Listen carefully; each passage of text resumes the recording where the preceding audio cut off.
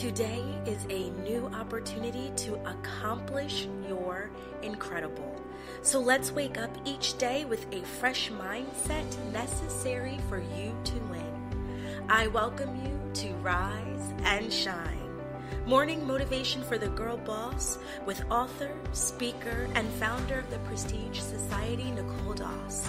Let's jumpstart your morning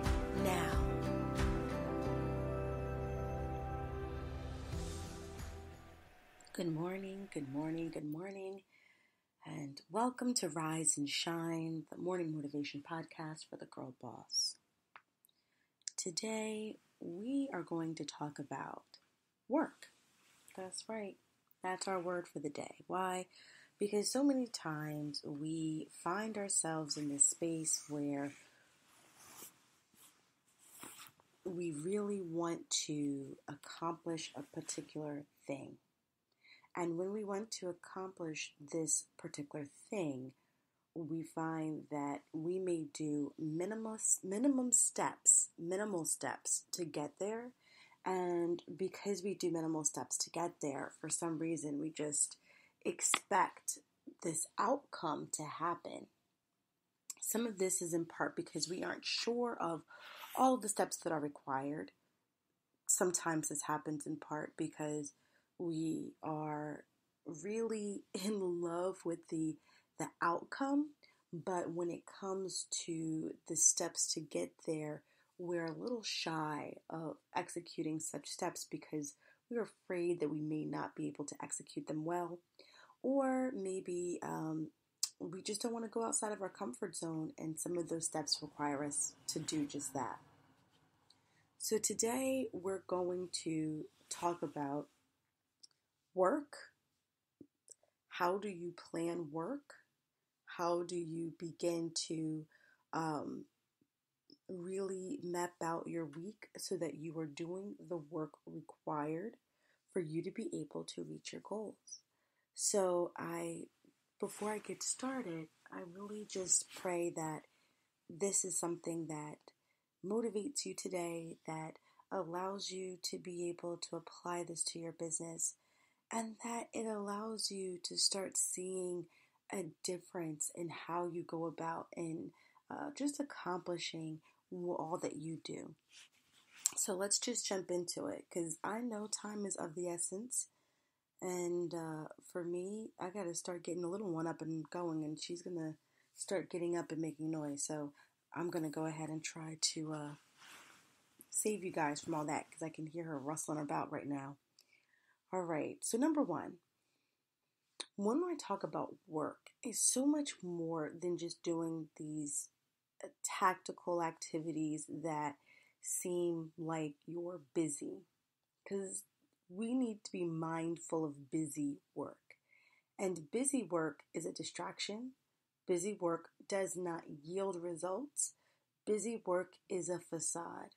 So, what busy work does, it gives people this uh, this this feeling or this sense or perception that you are extremely busy.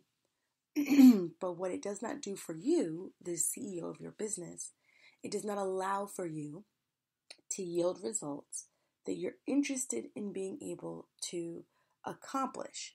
So it's not results oriented. It is just something to make you seem like you're busy. And so, what it does, it drains you of your creativity, it drains you of your um, energy, and it is it's something that takes place in absence of creating strategy. Okay, so when we talk about work, the first thing I want you to do is create some type of strategy or overarching goal that you truly, truly want to accomplish with your business.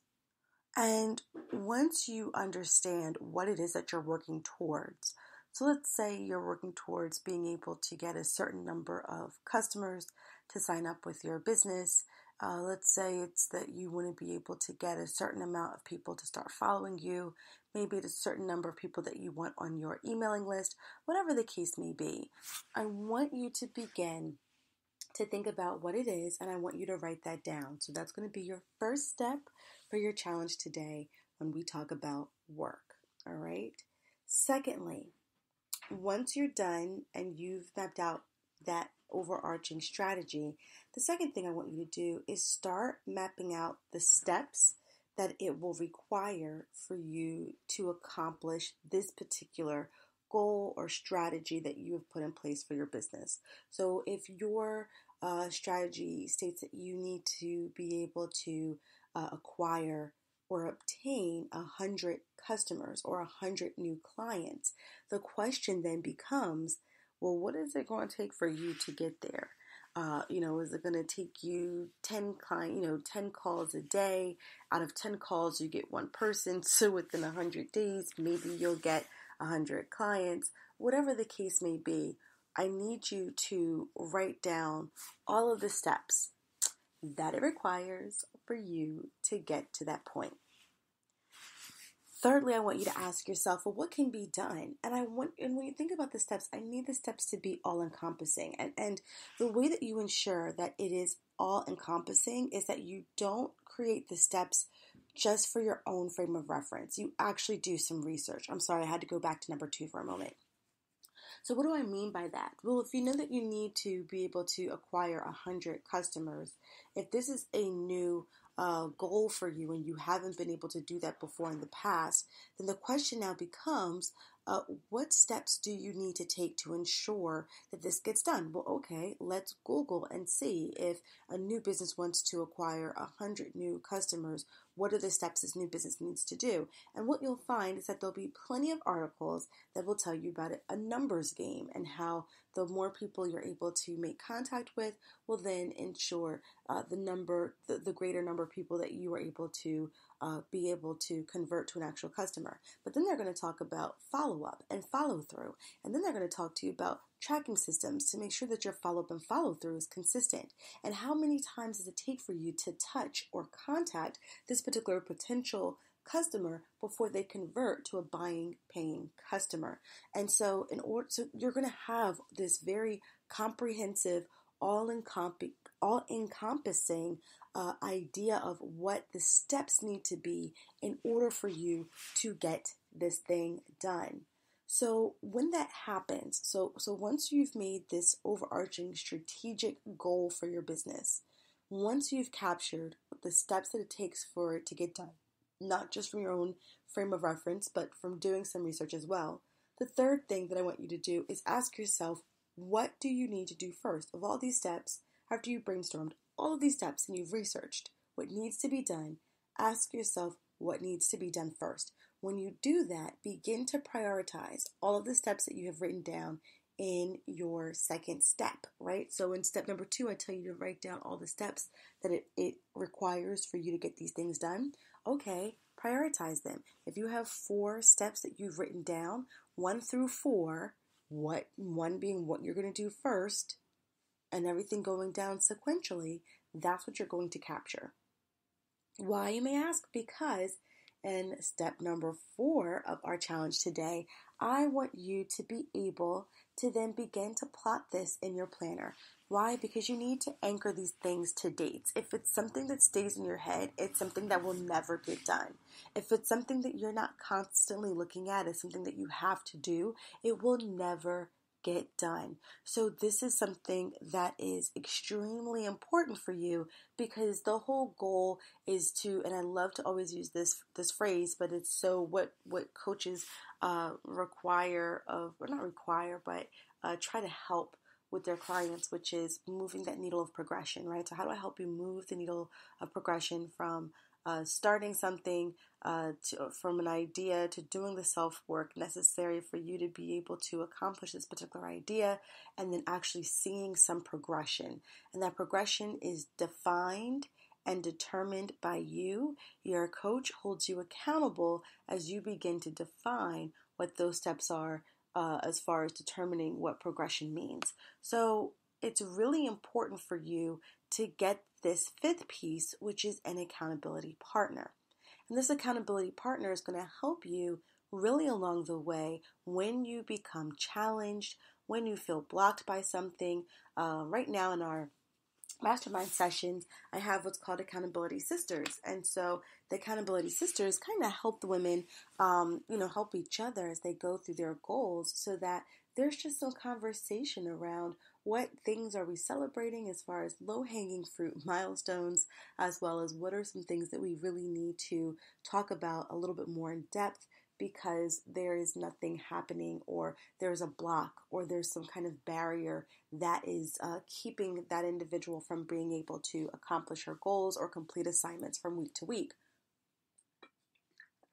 So it's really important for uh, you to have that accountability partner because we know that there's only going to be a certain level of work that you are going to do. And then what ends up happening from there is that you then allow um, you know, you, you're able to, to kind of do a course correction when someone else holds you accountable. When someone says, like my daughter, my oldest daughter, she holds me accountable all the time.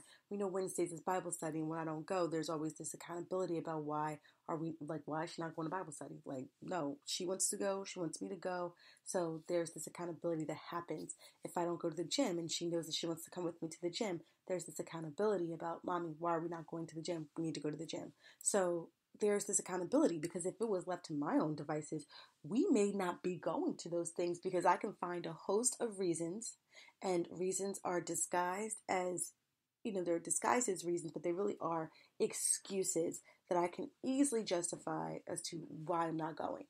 And these are the things that's really important for us to begin to to have someone there who can give you a different perspective and hold you accountable and say, wait a, wait a minute now, you're not doing what you're supposed to be doing. How do we course correct? And then that's something that you then define for yourself.